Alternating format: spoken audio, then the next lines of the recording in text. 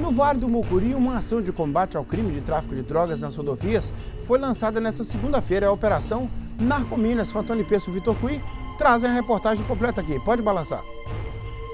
No lançamento da Operação Narcominas, a Polícia Militar Rodoviária e equipes do DR se uniram para fazer fiscalizações. A barreira foi montada na BR-418, na saída para Carlos Chagas, no Vale do Mucuri. No Dia Internacional contra o Tráfico de Drogas, os policiais fiscalizaram os condutores. Tarek foi aprovado na inspeção. Tá bom, é bom organização, né? É bom a gente olhar como é que fala, o que, que, que, que vai ser. É bom pra gente, né?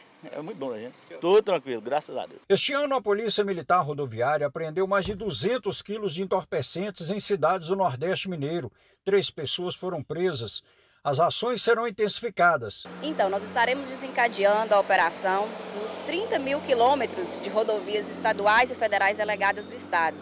Para tanto, nós iremos utilizar cerca de 1.200 policiais militares é, em 100 pontos estratégicos do Estado, com apoios de outros órgãos, das nossas forças policiais também. E, bem como durante esse período, né, serão desencadeadas operações de prevenção também a sinistros de trânsito e é, blitz educativos. Na Operação Narcominas, a Polícia Militar Rodoviária, com apoio de outras instituições, vai fiscalizar cerca de 30 mil quilômetros de rodovias. Para isso, foram estabelecidos 100 pontos específicos, um deles aqui em Teoflotone, na MGC 418. Além do combate ao abuso de drogas, os policiais, os agentes de segurança vão fiscalizar também outras irregularidades de trânsito.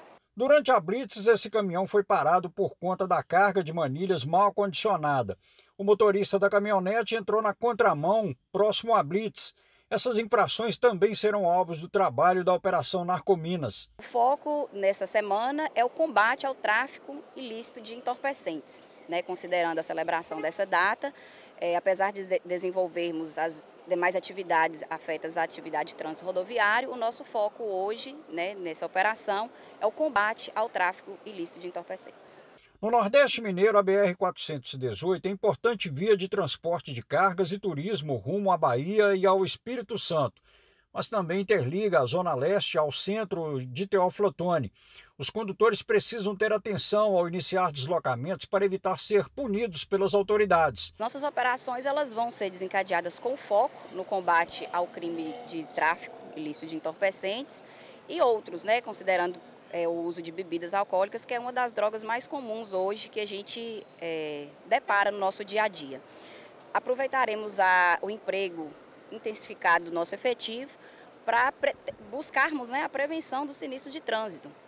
A operação é desencadeada em todo o estado de Minas Gerais e a 15ª Companhia de Polícia Militar Rodoviária, nos 60 municípios nos quais ela atuará, ela estará é, fiscalizando as demais infrações de trânsito, bem como é, buscando reduzir a incidência de sinistros.